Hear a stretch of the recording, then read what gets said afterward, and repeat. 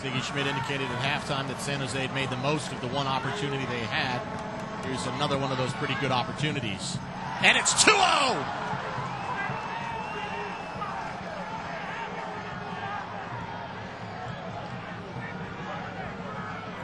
Ramiro Corrales, the team captain, after three seasons away from Major League Soccer in Norway, comes back to the San Jose Earthquakes. A nicely flighted ball by O'Brien.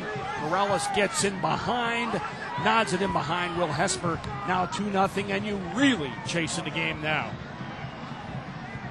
Wins a head ball challenge over Brad Evans. Uh, does number 12, Ramiro Corrales. A beautifully flighted ball from O'Brien to keep it away from everybody.